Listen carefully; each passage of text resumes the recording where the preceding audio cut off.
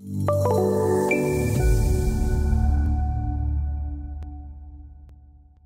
right, let's go back. Uh, I skipped over something at the beginning. So let me show you how to bring up the shortcut list in the first place.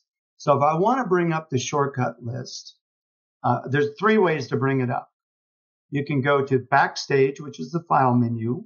You can go to Settings, go to User, and go to Keyboard Shortcuts. And that will bring up the list of shortcuts. Now I mentioned that this is the shortcuts for AccuDraw, but it's also the shortcuts for the tool. Most of this is AccuDraw. And if you've ever looked at the AccuDraw list in V8i, it looks pretty much the same. The two that are distinctly different are Q. This is the shortcuts for the tools now. All the shortcuts for the tools come off of Q, or that's if you're if you use the mouse right-handed, mouse in your right hand, and your left hand is on the keyboard, then you'll notice Q one two three four five six seven Q W E R T. That's you'll notice those are all left hand keys right at the top left of the keyboard. If you happen to be left-handed or you, for whatever reason, use your mouse in the left hand, then you have the bracket, which is the same shortcuts, but it puts all the shortcuts on the right side of the keyboard so you can use the mouse left-handed. All right, we're not going to worry too much about those, but just making you aware of that. All right, so I will use occasionally like Q4 to bring up the placement tools. And so this again, or QW for move, QE for copy.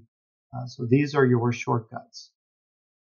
There's another set of shortcuts or another way to bring up the shortcuts, and that is with the search. So if I went up to the search ribbon and just typed short, that's enough. And you can hit enter, same list. Another way to bring this up is if you give AccuDraw focus, so F11, and then do a question mark.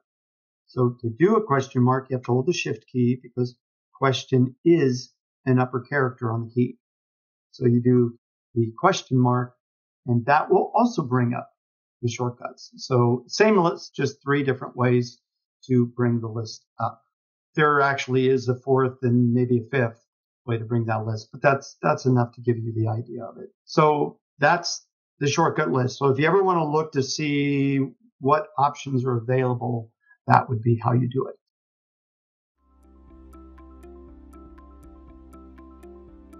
If you found this video helpful, please give it a like. If you want to see more such series, consider subscribing to our channel.